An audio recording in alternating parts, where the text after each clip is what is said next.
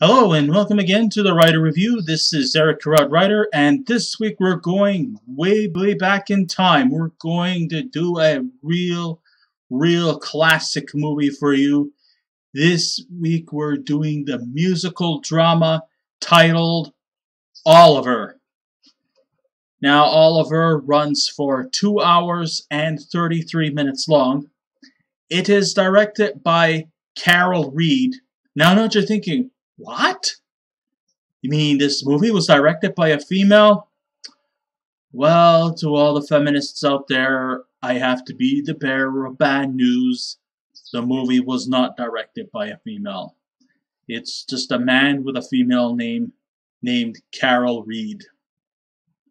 I know, I know what you're thinking. I thought at first this was a female director, but as it turns out, Carol Reed is a male with just a female first name. All right, it is all right. Enough of that. Okay, the it is produced by John Woolf. The script was written by Vernon Harris. Of course, it is based off of the classic Charles Dickens uh, book titled Oliver Twist. And, and in 1960, it was eventually made its way as a as a musical written by Lionel Bart. The lyrics and the score was was done by Lionel Bart and John Green. The cinematography was done by Oswald Morris. And it was edited by Ralph Kemplen. And the stars of the movie are Mark Lester as the titular character Oliver Twist. Also joining us in this movie, we have Ron Moody, who pretty much reprises his role from the from the British stage to the screen as Fagin. We also have Shani Wallis as Nancy, Oliver Reed, who was Carol Reed's nephew, he uh, played Bill Sikes. We also had uh, comedic actor Harry Seacombe making the transition to being in a drama role. He is in there. He's, of course, Mr. Bumble. Jack Wild, who, of course, famous for being in the Sid and Marty Krofft show in the 70s. If you guys grew up in the 70s and watched those cheesy Sid and Marty Krofft shows, you may have remembered him from the show H.R. stuff before he actually became an adult and literally started to stuff. there is a drug reference to H.R. Pufnstuf. If you don't know that, you're blind. Also, uh, drawing the crowds, we have Hugh Griffith.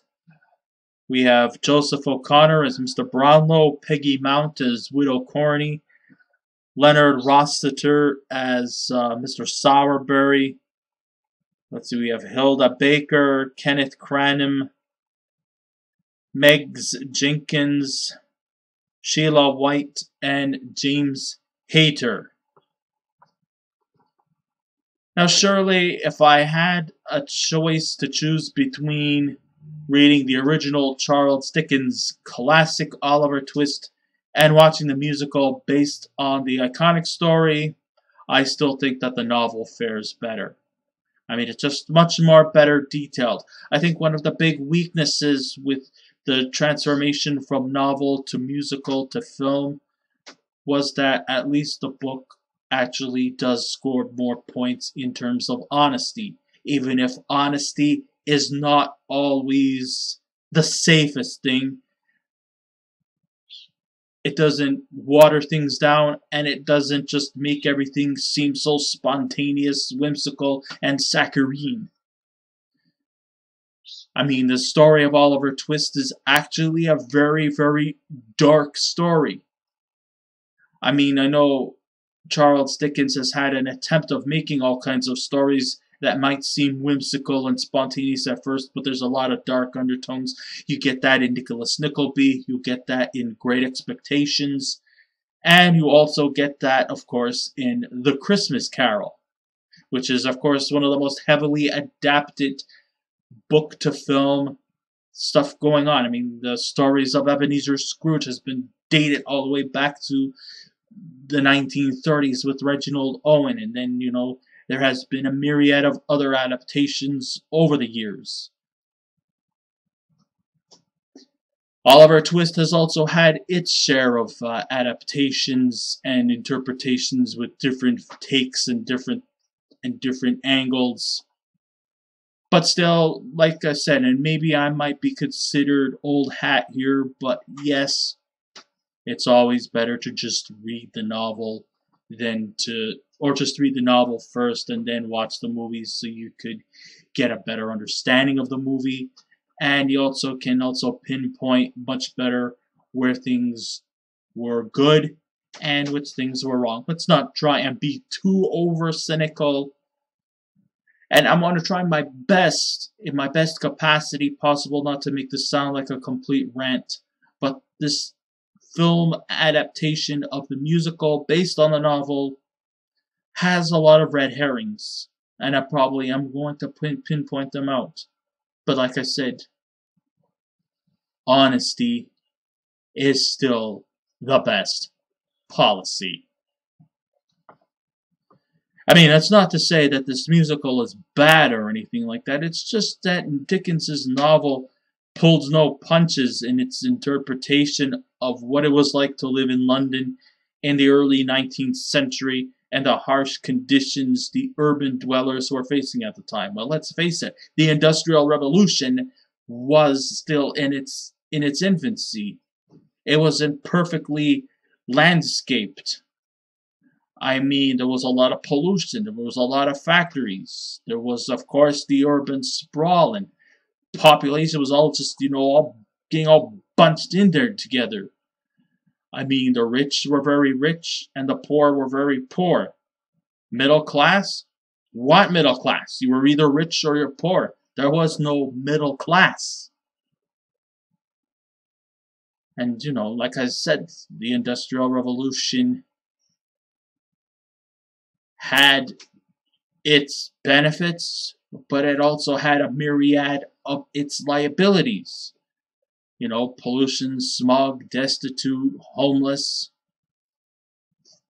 You know, you think that when you go into the urban cities, you're chasing your dream only to realize that all this dream and all this visions of lollipops and rainbows is really all just hyperbole. And that's kind of like what Charles Dickens was pinpointing out. As much as you hate to know the truth, the truth can hurt. And if you can't take the heat, well, too fucking bad. Even though the musical adaptation still has the grim settings of the novel, I mean, no kidding. I can't help but feel that there that the musical adaptation has been watered down a bit to the point of being too cheery and family friendly, even though the novel is really anything but. Just because you stuck a child in the leading role doesn't necessarily mean that it's child friendly or it's cheery.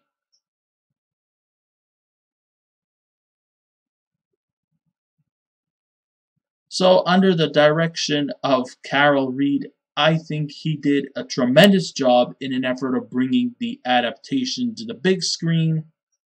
However, I still don't think it compares to the best film he ever directed, which was 1949's The Third Man.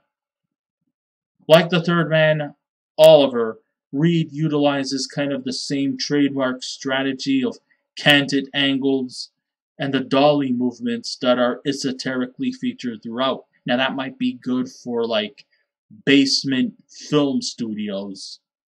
But if you're going to create an atmosphere to look like 19th century London, you gotta kind of make things seem a little less obvious.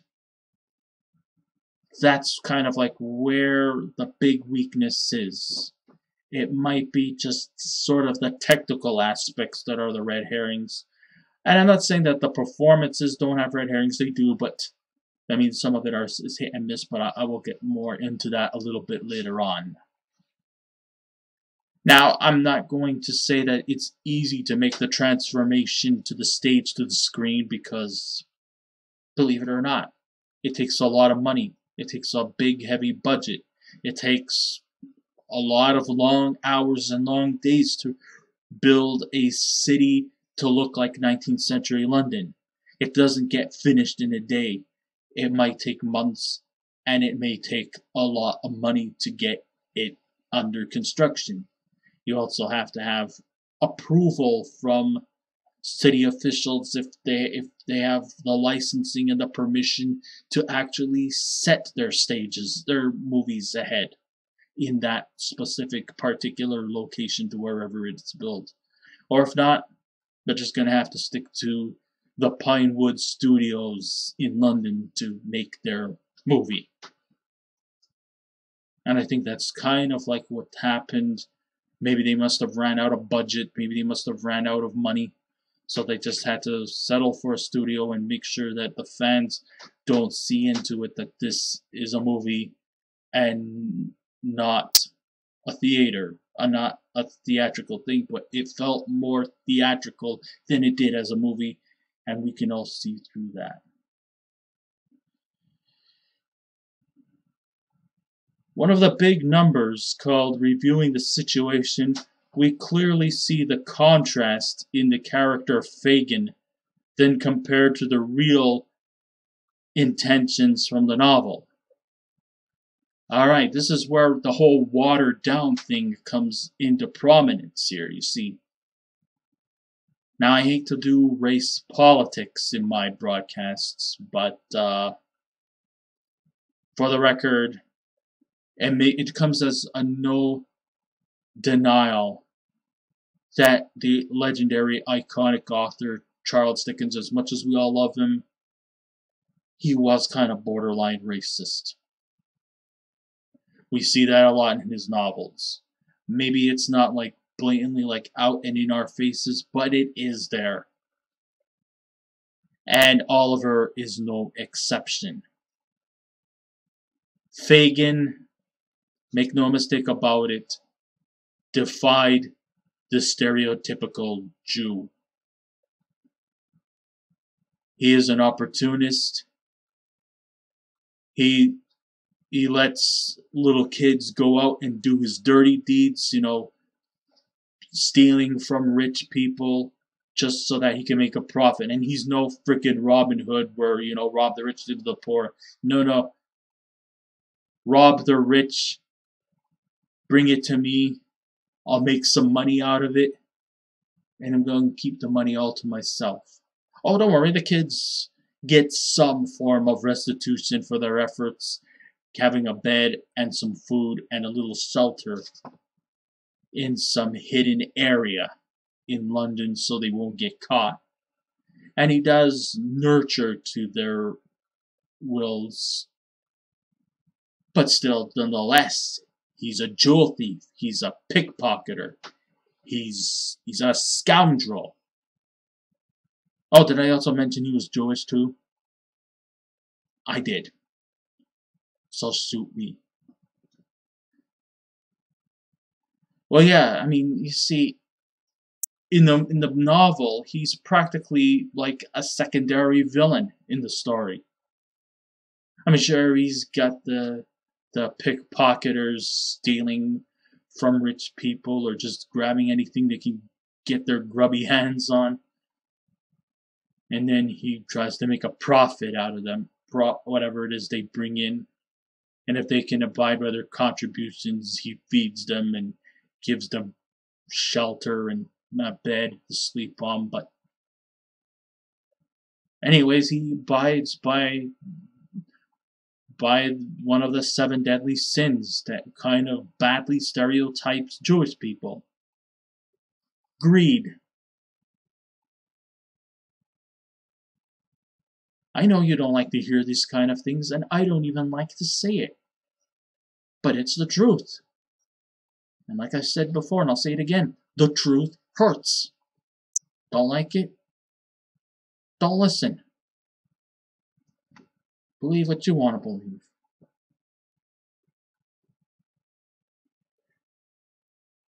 I mean, the guy was just as much not far from being an antagonist next to Bill Sikes. But in the musical adaptation, even more so in the movie, Fagin, played by Ron Moody, is definitely played safe as a sympathetic master thief who's like a mentor to these young scoundrels. And during his number, when he spots the noose, when he brings, when he sings to the lyrics of trials and tribulations, we can see that what he's doing is a dangerous job that could get him caught.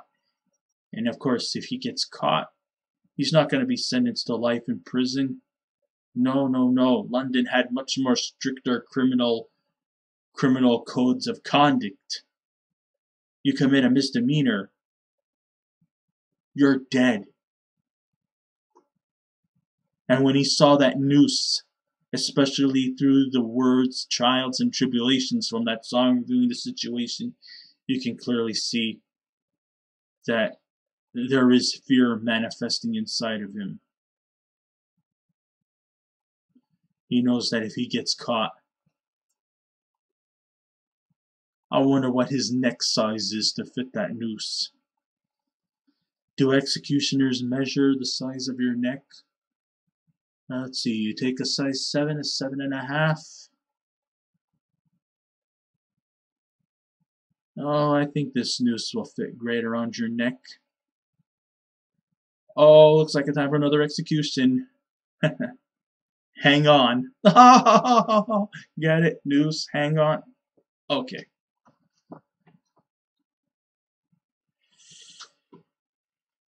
I mean, let's face it. I would not want to be in his shoes in more ways than one. I mean, his line of work could get him in trouble if he doesn't take precautions. And I think they were making him just way too careful that no one would be upended or that no one could see who he was. But if you're a die-hard fan of the novel, a die-hard fan of Charles Dickens, you'll know that racism was a big factor in a lot of his stories, and there were, of course, a lot of badly done stereotypes that helped or dappered a lot of his stuff. And he didn't show any apologies to it. Now, that doesn't mean you have to go out and take every Charles Dickens adaptation and burn it. Come on now. Haven't we had enough of burning and destroying things already? We don't need that anymore. We don't need it now. We don't need it ever. Let's try and be civilized. Or has civilization become obsolete in the world we live in? I don't know anymore.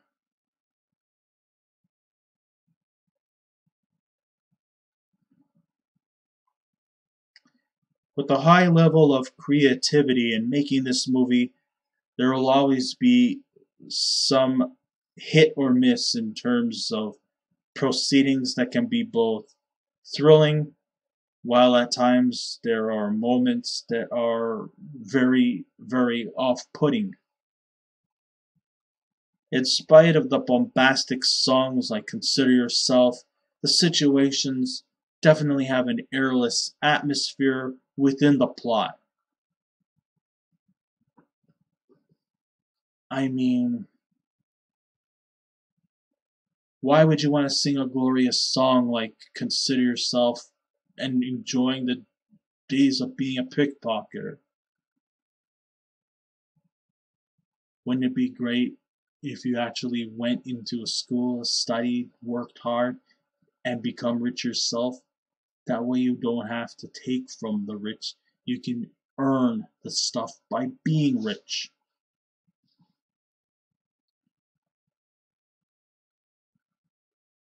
I mean, underneath all that, underneath all that songs of optimism and cheeriness, there's really not much to cheer about.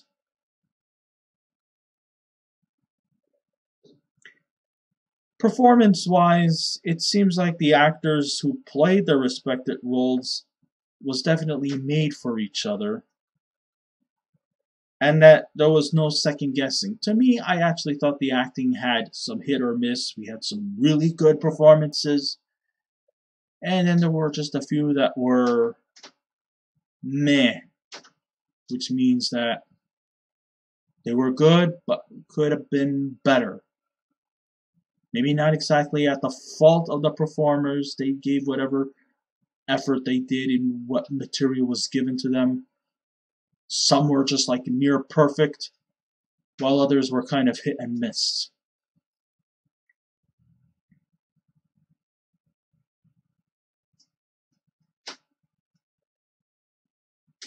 But overall, I think a lot of these roles were definitely were meant to be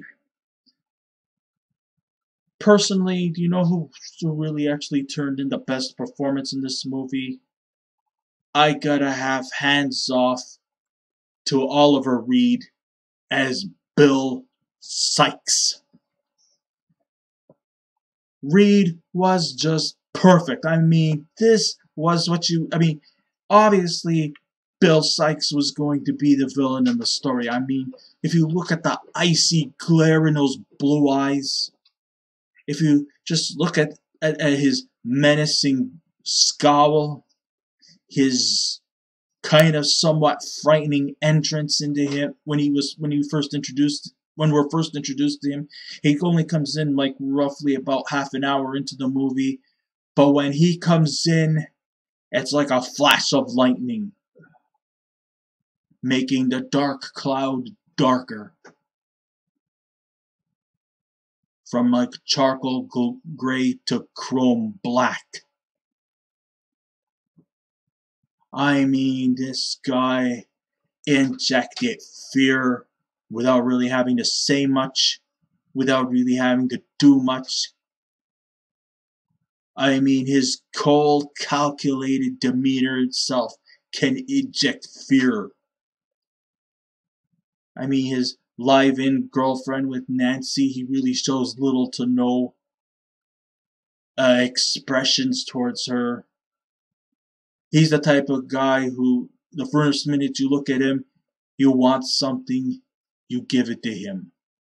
No second guessing and no bullshitting. Whatever he wants, just give it. No arguments. That's the kind of role he was he was just the perfect villain. Many people had panned that this was going to be a product of nepotism just because his uncle was directing the movie, so oh, of course they're going to give it to him. But he made sure that he was going to give out his best performance. And by God, he stole the movie by far. You don't want to mess with Bill Sikes. I mean, the fear that he brings out is something that you would see in a horror film.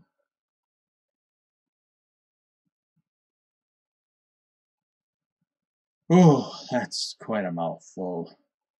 Jack Wild who I think, in my opinion, was a really, really underrated performer. Started his career as a young kid. I thought that he did also an excellent job as as the Artful Dodger. I mean, he he just nailed the role to perf- to perfection, and it's just a shame that his career kind of never really materialized to just light-hearted stuff. I mean, you know, by the time he got around to the early 70s, he was singing these light, good, corny, bubblegum pop music that was big in the late 60s, early 70s. Songs about sunshine and rainbow and song and dance type of Brady Bunch, Cowsills, and Osmond Brothers type stuff. And then, of course, came HR Pufnstuf with, you know, the Sid and Marty that things. by God. I was wondering, is the Artful Dodger role sort of like a curse?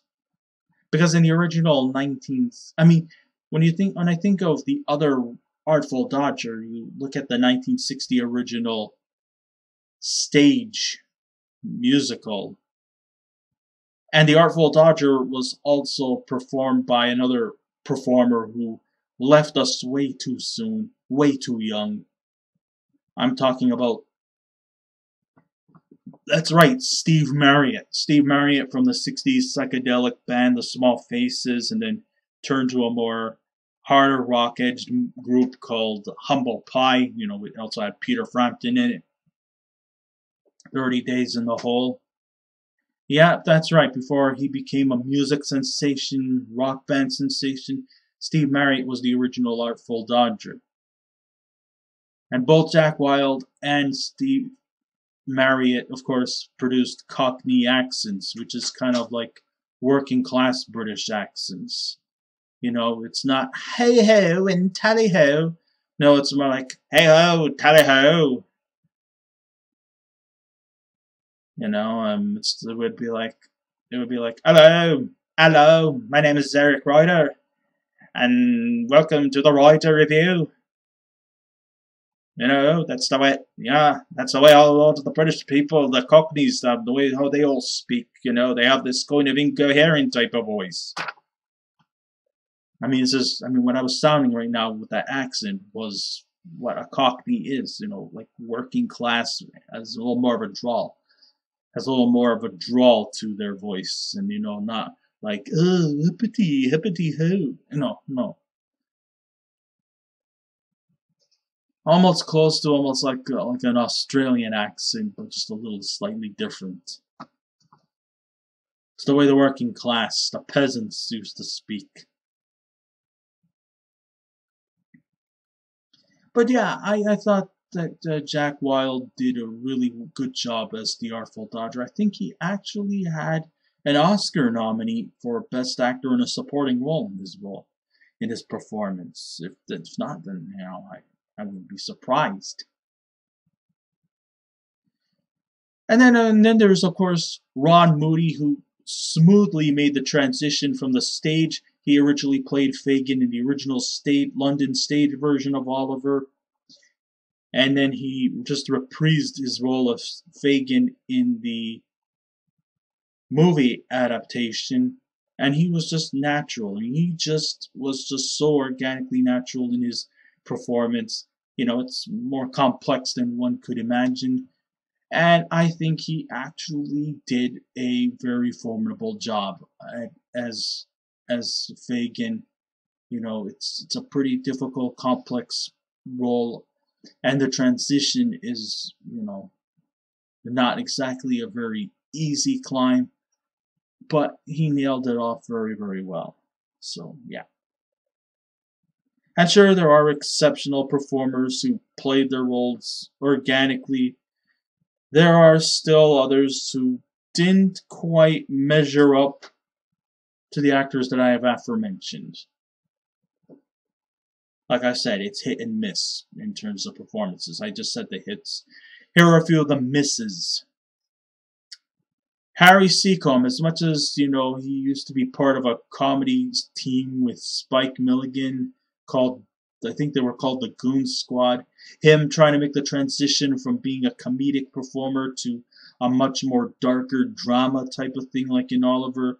As much as I would like to see that was um great that he wanted to exhibit some versatility into his repertoire, but I still think his role was flat out one dimensional as Mr. Bumble.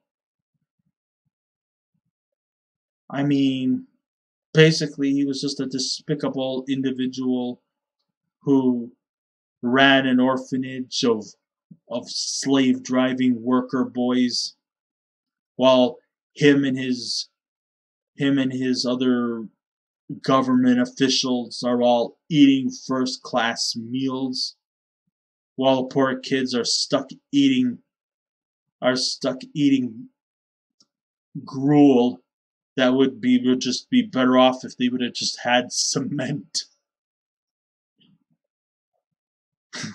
yeah. I mean, the gruel they had was like, ugh. Is this gruel or is this cement?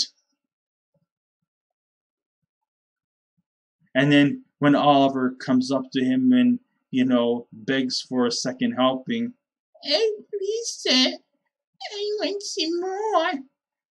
he then lets out this really booming voice. More! It's like, whoa. I mean, at first you would think that, you know, his, his, his loud voice would be like, like something to fear. But in the end, it turns out it was more com- comical than fearsome. Also, the fact of the matter is, is that, you know, he had, you know, could have had more dimension to him. Also, the same could be said for the character who played Widow Corney. I mean, this is another weakness that came about in this movie. A lot of musical numbers were taken out, which, I mean, I know maybe they were running low on time and didn't have any room for them to have their musical numbers in. I mean, I think Widow Corney and Mr. Bumble were supposed to sing a song called I Shall Scream, which would have given a little more dimension to both Mr. Bumble and Widow Corney, which could have helped them out a little bit better. But in the end, I think if they would have just took Widow Corney out of the equation, nobody would have known the difference. Of course, you know, because of, of Oliver begging Mr. Bumble for more gruel, they thought that he was a pariah. So he sold him off to work as an apprentice for the local undertaker, better known as Mr. Sowerberry, which sounds like a taste of a new snack from the gummy bears. Hey, kids, have you ever tried our new sour berry patch? Tasty treats from gummy bears? Yeah, that's his name, Mr. Sowerberry. Anyhow, yeah. I thought Mr. Sowerberry and Mrs. Sowerberry were supposed to sing a song called That's Your Funeral, which would have also given a little more backdrop to, you know, Oliver during his days when he was working as Mr. Sowerberry's apprentice. Before getting fired because of their juvenile delinquent son, who was a troublemaker who got him into trouble. Yeah. I just think there was a lot of um, numbers missing in this. And I'm not just pointing out at the villains that were, well, Mr. Sowerberry was kind of like a mix between protagonist and antagonist. Not. Mr. Brownlow also was not really given much dimension to his character, so he was kind of pretty much forgotten, except for just being a sympathetic rich guy who could probably be a biological relative of Oliver Twist.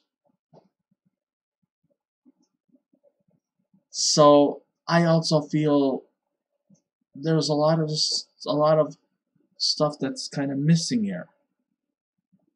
And I think Harry Seacombe, as much as he might be a great actor, he just overacts his role as Mr. Bumble. Shani Wallis, who plays Nancy, she definitely may have the talent and the a voice as the token compassionate character Nancy, even though she's not exactly clean cut white knight. I mean, she is a bar waitress and she's also has had a reputation of being somewhat promiscuous. And of course, she's also the live-in girlfriend of Bill Sikes because like all stereotypical women, they just love a bad boy. One who doesn't play by the rules. But I still think she could do better than Bill. But she plays too much of a victim to garner any type of sympathy. Now, I know this is going to hurt you all to say this, but you're often wondering and asking, what about the star, the life of the party, the one who is the star of the show? You never mentioned Oliver. I was going to save this one for last, and I never go back on my words. I just had to sort of stall a bit just so that I can finally exhume the truth. Here it goes. I'm going to be docked for saying this. But the weakest character in the movie was the title character of Oliver Twist, played by Mark Lester. I know everybody's saying, Eric, how can you be so mean? He's just a child. And you're saying that he's the weakest character. Well, Jack Wild as the Artful Dodger was just a child, and he was perfect. Okay, I'm not going to say that Mark Lester's performance was the worst thing I've ever seen in my life. No. But compared to all the other actors and actresses in this movie, he was just a bit weak. He was just really weak. I mean, I just never really grew onto him. He was just this weary-eyed, one-dimensional kid. I mean, I know his story is, you know, he was just a kid who was like wandering around, wondering where he fits in in life. I mean, he doesn't care whether he's whether he's just a a guy who's a kid who's just work who's just like working in a workhouse with a cruel mentor like Mr. Bumble he doesn't care if he's like having to sew up dead bodies at Mr. Sowerberry's funeral home. Or whether he's out there picking pockets over a rich Jewish swindler like Fagin. Or if he's living in the lap of luxury with Mr. Brownlow. All he just wants is to see where he fits in society. He doesn't give a damn whether he's with the rich or with the poor. He just wants to know where the hell he belongs. And I think that's what the story mainly is about. And sure, he was supposed to be lost and naive and he does capture the role nicely. So I'm not saying, like I said, I'm not saying it's the worst performance I've ever seen in my life, but the actor actually literally looked lost in his role. It's like did the directors had to give him the words from some kind of mouthpiece in order for him to or did they have to sort of like show the cue cards and were like read this kid here read that say this. You know, like like someone like spoon feeding him the cue cards.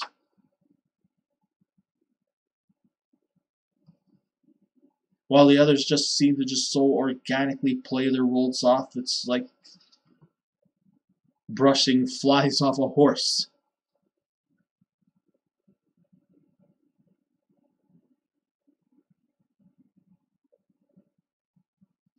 So um, Carol Reed decided to make Oliver a blonde because in Reed's frame of mind, blondes are cuter than brunettes, raven-haired, or redheads. But then again, this could also perhaps be a bad stereotype of the stereotypical dumb blonde. But I don't know. Maybe there were like hundreds and thousands of kids out there who were auditioning for the role, but he just had Mark Lester in mind.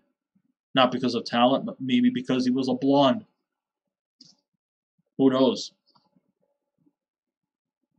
So all we see in Lester's performance was just a blonde little boy going out into the world, looking for himself. and see where he fits in. His dialogue is meager. The things he says seem sort of flat and one dimensional. And he just couldn't really like rise to the same level as his cohorts. And okay, maybe I'm not being fair that he's just a young kid at the time. And I'm sure, I think I've read somewhere that Mark Lester has actually had another uh, job, another career outside of acting, and he has actually done himself quite well. So, you know what?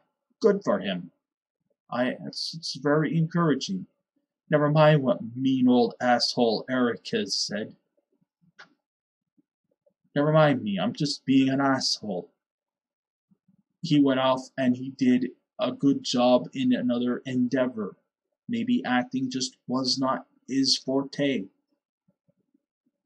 Maybe he just wanted to collect some extra money to pay off the cookie bill. That's just an old expression I usually use. But still, hey, He just didn't measure up to the other performers. That's all. Nothing bad. When it comes to building sets, production values have come a long way in compared to the golden age of cinema, where sets today take months to build and the budgets in the production values today can be in the millions in terms of currency. But Reed took the backdrop of recreating 19th century London and just built the set entirely in the basements of Shepperton Studios. That's why it looks more staged than it does look authentic. You might as well just turn the cameras to the lights above.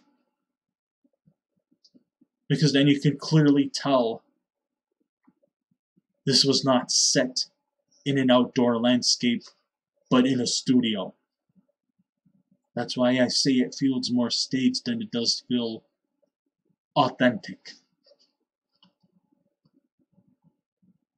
It's unknown what budget they had when they made it, but the background is quite superficial and even borders laziness in his part. Maybe maybe he ran out of money, I don't know, or maybe just didn't have the money to build a outdoor type atmosphere to recreate 19th century England. For the transformation from stage to screen work, you know, it's complicated. But there needs to be a city that looks like a city and less of a stage setting. So that's why the cinematography was not really up to par. Now I know I've done a lot of of ranting in this. I've done some raving as well, you know. I mean, I'm not saying that Oliver was a bad film, even though most of my reviews sounds predominantly negative. I mean, it was never a dull moment. The songs were entertaining, and the effort to bring this production from stage to screen definitely deserves an ovation. A for effort and Sir Carol Reed helped recreate a new look from a lighter perspective of the Charles Dickens novel. It's just that it was way too stagey and the settings were just way too lackadaisical. The songs composed by Lionel Bart were engaging, but definitely also has a level of airiness in it. I mean, sure, you look at a musical like Sweeney Todd the Demon of Barber of Fleet Street, and you can clearly tell that a lot of their musical numbers is more darker, more sinister, more cynical, but also more believable. 19th century London would not be a place you would want to live at that time. Now, 21st century London, you wouldn't want to live there either, but not as badly as 19th century. Now, in the end, you know, it is still a fun family movie to enjoy, but I just simply can't consider it a masterpiece. And you know what the worst part is? Is that I actually wanted to make make you think that it was a masterpiece. But I just can't because it does not feel like a masterpiece. It feels like a good fun afternoon for all to enjoy. And it's G rated. Even though I really think that the tale of Oliver Twist seems more closer to being PG PG 16 to an R rated because it is much more darker than what is than the way how the musical was written.